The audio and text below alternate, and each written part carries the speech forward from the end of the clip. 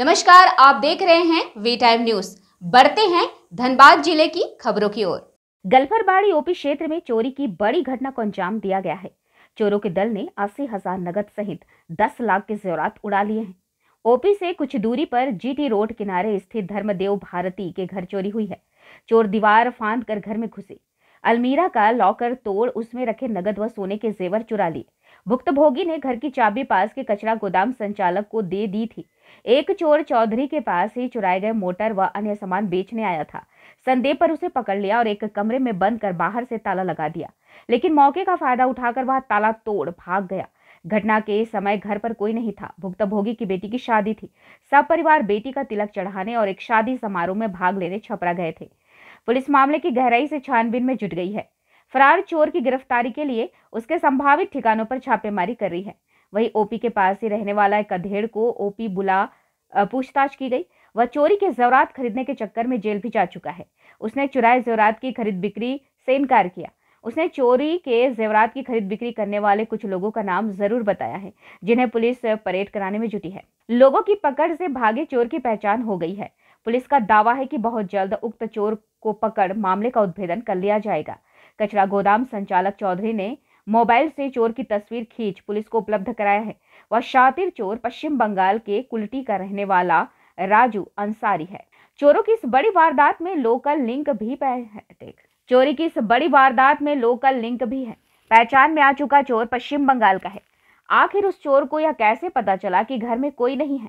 दूसरा सवाल है कि नगद व जेवर चुरा चुका उक्त चोर कबाड़ी वाले के पास चुराए गए मामूली सामान क्यों बेचने जाएगा?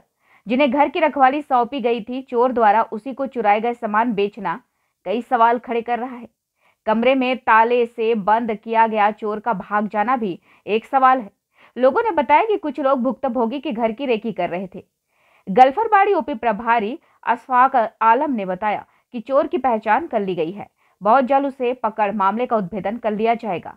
डीलरों को भी चिन्हित कर कार्रवाई की जाएगी जो चोरी का सामान खरीद बिक्री करते हैं। ठीक है हम देखेंगे।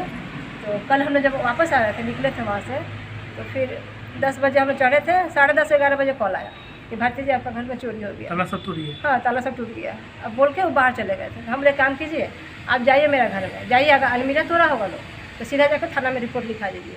हाँ दो तीन बार बात हमको रिपीट किए हम बोले हम लाइन पर हैं आप जाइए। वो लाइन पर थे। जब वीडियो कॉलिंग करके हमको दिखाए भी देखे पूरा अलमीरा तोड़ दिया हम लोग हम लोग काम कीजिए थाना में चल जाइए। तो इनका कहना था कि थाना में ले जाएँगे तो ये सब नहीं बकेगा। इसको हम लोग बकवा देते हैं कहाँ दिया सोना वोना क्या किया नहीं किया बकवा देते हैं। ठीक है जैसा हो वैसा आप लोग करिए। आप लोग जो समझ में करिए एक बजे तक उसको रोक के रखिए या फिर थाना में जाकर रिपोर्ट दिखाइए। फिर एक घंटा बाद कॉल जाता है कि चोर भाग गया। ये जिनको चाबी देकर गए थे। अशोक क्या पूरा नाम? अशोक चौधरी। हम्म। ये जो बगल में आपका हाँ, कचरा हाँ, काम हाँ जी, हाँ। हाँ फिर क्या हुआ? तो फिर एक एक घंटा बाद कॉल कर रहे हैं कि भारतीय चोर भाग गया। अच्छा और जेवर लोग जेवर कहाँ बेचा है? सब कुछ पता चला? कुछ नहीं। बोला कुछ बक ही नहीं रहा। है वो पिया हुआ है अभी उसको चोट उट भी मारने से बोलने से कुछ भी बोल नहीं रहा बक नहीं रहा हूँ हाँ तो हम बोला कि उसको होश में आने दीजिए तब पूछते हैं। इसलिए बंद करके रख दिया हुआ लोग। होश में आने दीजिए तो या फिर आप आइए तो हम लोग कुछ करेंगे। आप आइए जेवर चोरी हुआ है लगभग आपका? लगभग मेरा दस ग्यारह मायके का का तो पुराना शादी का मिला था। मैंने लड़की लोग दूसरे तीस साल से हम गहना जुगाड़ कर रहे थे बेटी का शादी के लिए। दो बेटी है पच्चीस साल की हो गई है। अब तो शादी करना अभी था। थाना में अब जा रहे? थाना वाला बुला रहा है तुरंत जा रहा है। मतलब नकदी सहित करीब दस ग्यारह लाख का संपत्ति चोरी हुआ। है हाँ जो था आप लोग सामने उससे ज़्यादा ही होगा कम नहीं होगा। वी टाइम न्यूज़ के लिए निरसा सेवी की सलूजा की रिपोर्ट।